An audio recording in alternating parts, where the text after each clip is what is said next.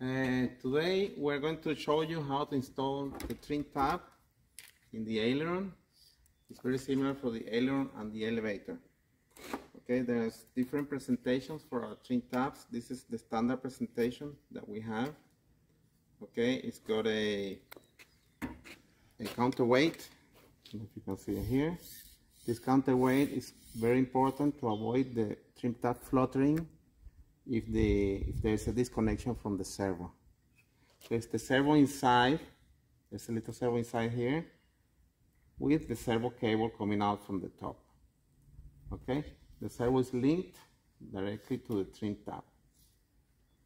Okay, uh, the, this whole thing weighs about five ounces, and in in airplanes that have a counterweight at the back of the at the forward edge of the aileron. We should uh, complete this counterweight with the uh, proper trim tab weight so that the aileron is balanced. You should always balance your your flying surfaces when you install the trim tab okay as I was saying we got the servo the link and the counterweight. Uh, we got the hinge. With the hinge pin is being held uh, by some clevis here on each side okay? So you can disassemble it anytime you want okay?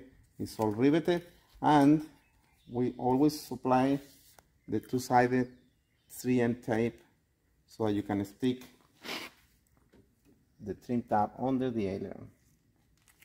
It's the way it should go One of the things you have to think about is the, the wire. Where do you put the wire? Uh, you should rig the wire inside the, uh, the wing, okay, to the instrument. And then depending how the wire comes out here, you can either peel off a little bit of tape, okay, and put the wire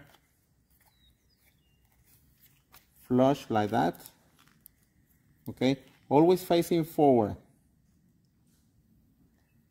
Uh, sorry, facing back, so that any any drops of water will not get into the servo. They'll, they'll always flow back. If you install it like this, or front, any water that gets into the cable will go into the servo. We don't want that. We want any any humidity to go aft, even if you have to put the cable like this afterwards. That's if you install the cable outside. The other thing you can do before you install the aileron trim, you can drill a small hole here and you can rig the cable through the hole and into the aileron. Okay. Now I say you have to count weight.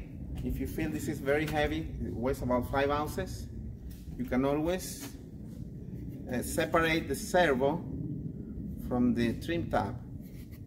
Okay, some people will separate the servo from the trim tab and cut the, the, the, part that goes on the plane. You can cut it smaller.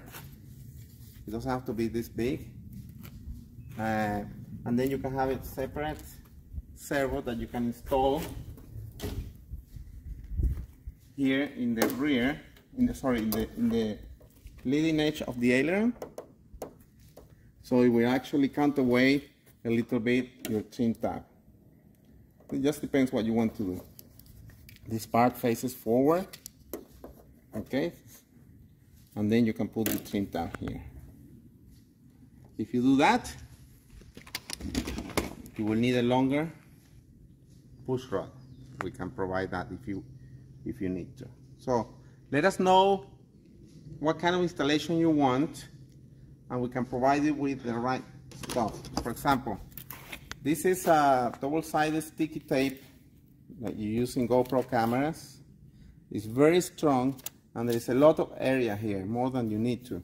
So you can actually cut this in half if you want and have uh, less area. Or you can actually remove all the tape and rivet. You can rivet the trim tab onto the aileron okay then rig the, the cable either like this like I said before or in a hole inside the aileron Okay. So again, very important to, to counterweight your aileron if it has a counterweight. Some ultralight airplanes or light, light sport aviations airplanes that are not too fast, so they don't need a counterweight of the at the front. But fast airplanes like the RV and other fast airplanes will need a counterweight at the leading edge of the aileron. Okay, the same thing would be for the elevator. And of course the elevator is more critical and here is uh, very important to counterweight here at the front. So any, because in, in the RV, the, the arm from, the distance from the pivot to the trim tab is similar to the distance from the leading edge of the, of the elevator. So this is where the weight goes. So put about the same weight and you'll be all right. Otherwise, you just have to balance it. It's very important on the elevator.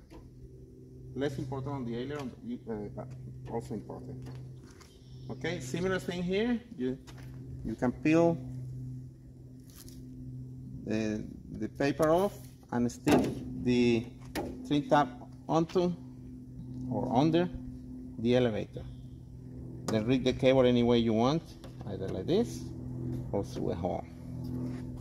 Or you can use this type of separate servo. See here. Put the servo here and the elevator here. This will reduce the arm weight that you have to put. Okay, finally, uh, the best place to put the trim tab is uh, in the center of the aileron. It's where the least turbulence is and it's where it has more uh, uh, more force.